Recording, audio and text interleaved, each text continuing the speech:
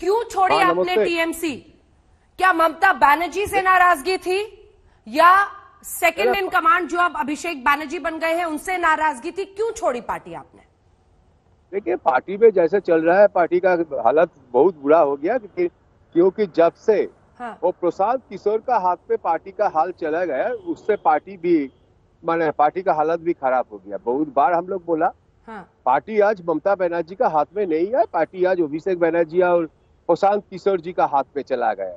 तो इसलिए पार्टी तो आज पार्टी से नहीं है, पार्टी कुछ प्रोफेशनल आदमी को हाथ में चला गया। जो पॉलिटिकल आदमी, चालीस साल हम पॉलिटिक्स में है तो इतना दिन बाद पॉलिटिक्स तो पॉलिटिकल आदमी के पास नहीं है। वो तो चला गया एक व्यवसाय ग्रुप का हाथ में।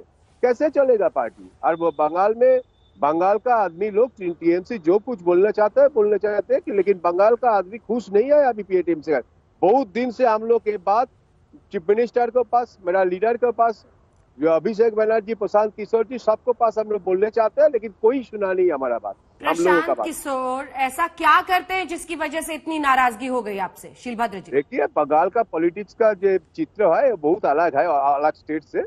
इधर का इधर में जो जो पॉलिटिक्स कर रहा है तीस साल चालीस साल जो पॉलिटिक्स कर रहा है माने छोटा ये से हमें स्टूडेंट पॉलिटिक्स का टाइम से हम पॉलिटिक्स में है हम। और आज दो बाईस तेईस वर्ष का कोई लड़का आ जाए और बोलेगा भाई ऐसा चलो ऐसा चलो तुम लोग तुम लोग को कुछ काम करना नहीं चाहिए हम तुम लोग को जिताने के लिए आया। बंगाल का माटी मिट्टी की इतना सस्ता हो गया जो वो बाहर से आएगा और इधर जिता देगा। वोट में तो पब्लिक जिताते हैं हम लोग जानते हैं। पब्लिक तो हम्म हम्म। ठीक है तिवारी जी अब आपके पास मैं आती हूँ। आपने पार्टी क्यों छोड़ी? आपकी भी यही शिकायत है। जी आ, मुझे पार्टी में एक ज़िले की ज़िम्मेदारी दी गई थी लेकिन जिस ढंग से मैं काम करना चाहता था उस ढंग से काम करने की स्वाधीनता नहीं थी। और मेरे आँखों के सामने पार्टी की हालत खराब हो रही थी विरोधी पार्टियाँ हैं उनका उनके वोटों का में इजाफा हो रहा था। और अंततः यह ज़िम्मेदारी मेरे ऊपर ही आती मेरे बार बार बोलने के बावजूद मेरे जो सजेशंस थे उस पर कोई कार्रवाई नहीं की गई। इसलिए मैंने ये उचित समझा कि मैं पार्टी छोड़ ही दूँ और अपना पद भी छोड़ दूँ जिससे कि बाद में जब इसका परिणाम खराब होगा तो ये ज़िम्मेदारी मेरे ऊपर न मढ़ी जाए। तो तिवारी जी फ़ायदा बीजेपी को होता हुआ देखकर आपने पाला बदल लिया?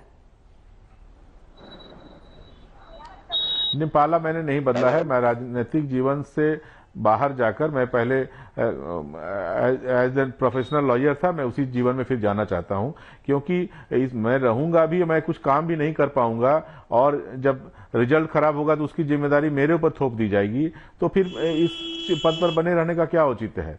यदि मैं काम करना चाहता हूँ तो मुझे काम करने की लिबर्टी देनी चाहिए तभी तो मैं काम कर पाऊँगा।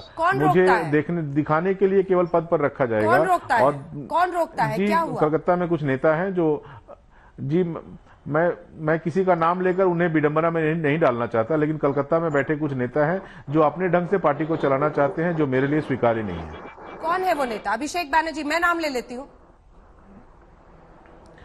जी जी मैं आप नाम ले सकती हैं आपके पास ये स्वाधीनता है लेकिन मैं किसी का नाम लेकर उसे विडंबना में नहीं डालना चाहता। लेकिन पार्टी ने तो आपको मेयर भी बनाया। एक वक्त ऐसा भी था जब बीजेपी आप पर आरोप लगाती थी कि आप हिंसा आप, आप, आप ये कहा था एक वक्त पर बाबुल सुप्रिय ने कि आपने फ़ोन पर उनको धमकी दी थी। कई तमाम आरोप थे। लेकिन फिर भी आपने टीएमसी को छोड़ दिया। जी जी मेयर भी मुझे बनाया गया लेकिन मेयर के रूप में काम करने के लिए जिस फंड की ज़रूरत होती है वो नहीं दिया गया। आसनसोल शहर के साथ सौतेला व्यवहार हो रहा है और जनता की आकांक्षाओं को मैं पूरा नहीं कर पा रहा था। तो फिर कुर्सी पर बने रहने का क्या मतलब? यदि मैं जनता का काम ही न कर सकूँ तो ऐसी कुर्सी पर बैठे रहने का कोई मतलब नहीं है।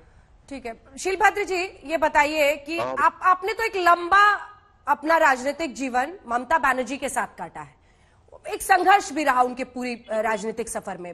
वाम दलों को उन्होंने ध्वस्त किया वहाँ पर वो सत्ता में आए। ऐसा क्या हो गया अचानक? वो तो कह रहे हैं कि आप लोग बीजेपी के लालच में आकर इस तरह से पार्टी छोड़ रहे हैं। देखिए ये तो उनका बात है। जब कांग्रेस छोड़ के उन्होंने आए थे अलग पार्टी किए थे उस टाइम तो बीजेपी का हाथ से ही तो हाथ पकड़ते थे उन लोग। तृणमूल कांग्रेस पहले 98 में जब अलग पार्टी में रूप लिया तब तो अटल बिहारी वाजपेयी जी बीजेपी के साथ ही तो चल थे चला शुरू किए थे। तो आज उस टाइम वो लालच का कोई बात ये नहीं थे वो आंदोलन थे। आज जब हम लोग तृणमूल कांग्रेस का खिलाफ में आवाज़ उठाता है जब उनका गलत काम का विरोध में आवाज़ उठाता है आज वो लोग ये बात बोलना शुरू किया। ये कोई बात नहीं पॉलिटिक्स का पॉलिटिकल बात है।